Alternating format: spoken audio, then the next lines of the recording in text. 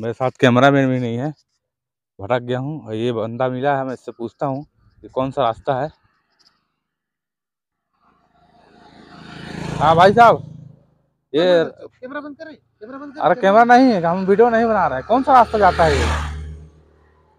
रास्ता रास्ता- नहीं जाता है। रास्ता में आपको चल के जाना पड़ेगा। अच्छा रास्ता नहीं जाता है। हाँ।